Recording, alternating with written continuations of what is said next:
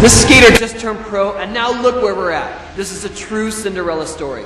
Just a few days ago, they were called up by P-Rod for a special mission in Southern California.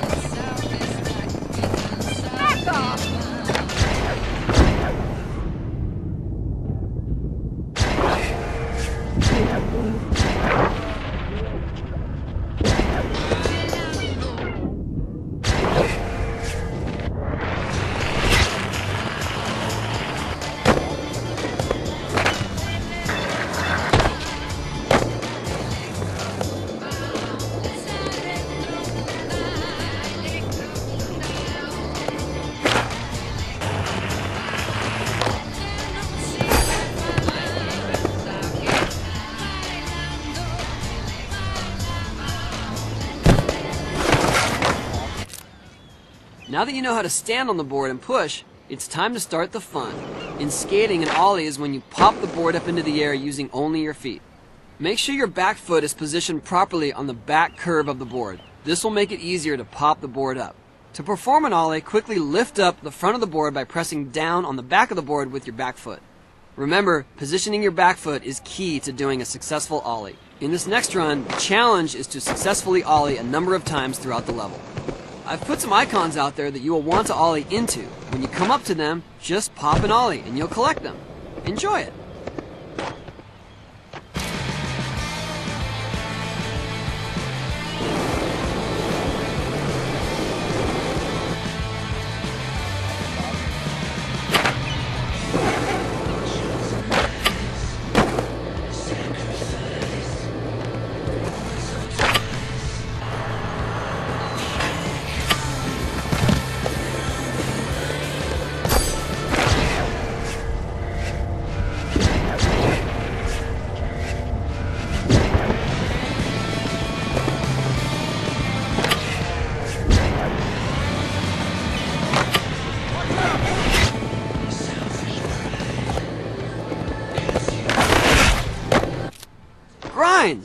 Grinding.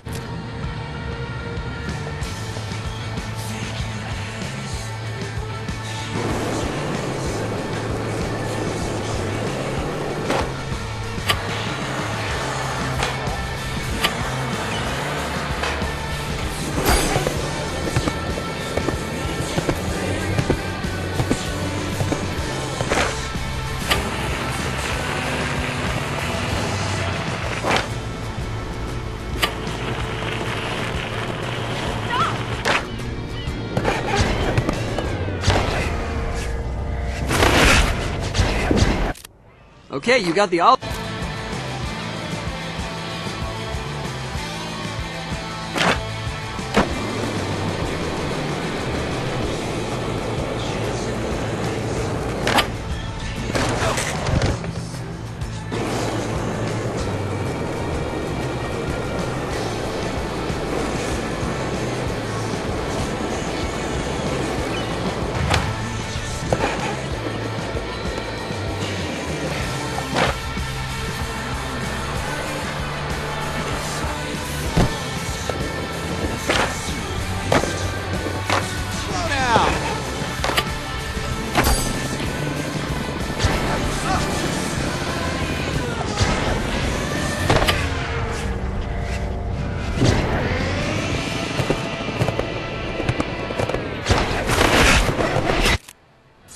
Tricks use the same idea of an ollie and another motion. So first you do your ollie, then instead of a tilt, you will quickly rotate the board either clockwise or counterclockwise. You'll notice that the board spins around in the direction of the quick rotation. Once again, it's lift up quickly for an ollie, then a quick rotation of the board either clockwise or counterclockwise. Alright, let's get back in there and hit those tricks. As usual, you'll be taken through the level and you'll see these icons where I want you to pull off the flick flip tricks.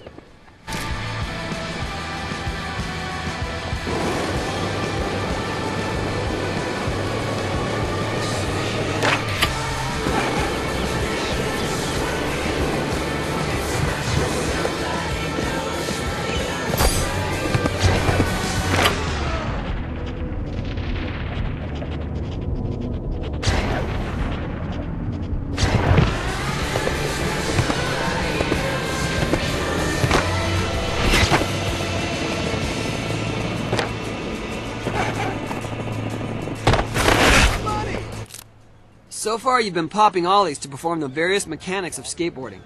Now it's time to get into manuals. With ollies, it's all about popping up the front of the board. With manuals, it's still about lifting the front of the board, but now we want you to do it slower. By slowly raising the front of the board, you will see that the skateboard doesn't pop into the air.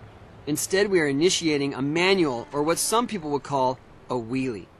Now we're riding on two wheels instead of four. The fun and challenging thing about manuals is maintaining your balance for as long as possible. Try holding your position and see how long you can last. You'll notice that when you're doing a manual, a meter comes up. This meter shows your balance while manualing. The green zone of the meter is where you want to be for maximum scoring. It looks easy, but takes a lot of skill to maintain that balance properly. Are you up for it? Let's get back in and start manualing.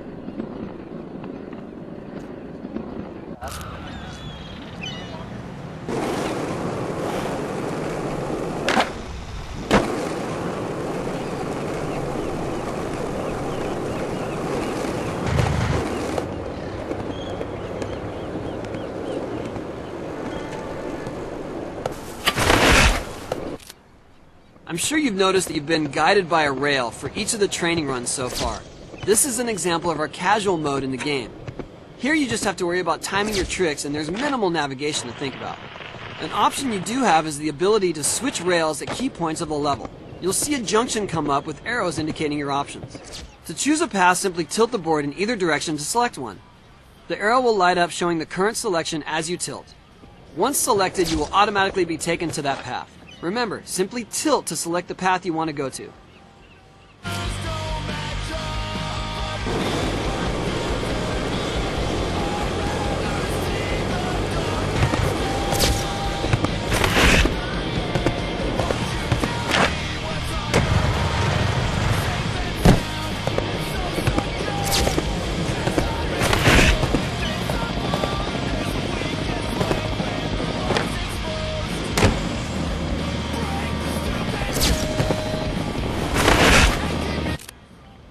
Done pretty well so far. Time for a pop quiz.